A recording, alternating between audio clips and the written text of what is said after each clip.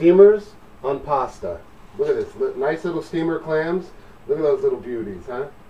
Those would be nice. We're going to cook those up in a little wine, garlic, Italian herbs, a little lime, and just a touch of oil. You know, we're going to make the, the sauce out of that too. We're going to um, add a little oil to it and uh, some flour with some water. We'll make a paste out of that, which you'll see, to thicken it a little bit. And uh, for the table, we'll have some Parmesan Romano mixed cheese to sprinkle on it, and uh, it will be delicious. And along with the pasta meal, we're going to have some of this beautiful ciabatta bread. This is a beautiful bread, little bread and butter or um, balsamic vinegar and oil, you know, to dip dip it in. Um, uh, look at that, isn't that beautiful? We bought this from one of the local bakeries, you know. I mean, we didn't bake this ourselves. So that's going to go with this meal. Okay? So let's get started with that.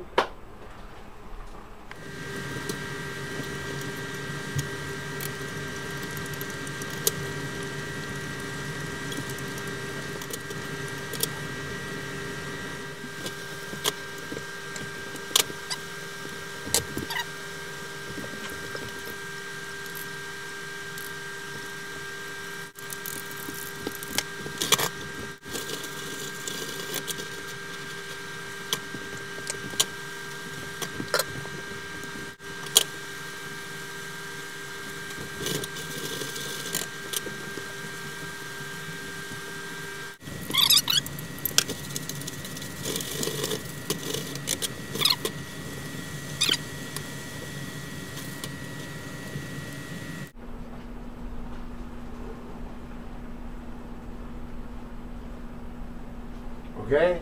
That's just about ready.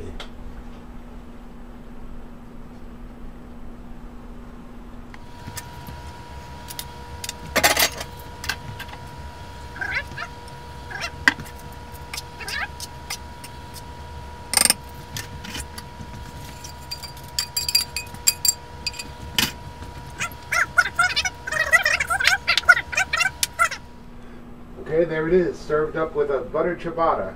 Isn't that beautiful? That's a beautiful piece of bread. So, there you have it. Okay? That's a beautiful meal. Thanks for coming by.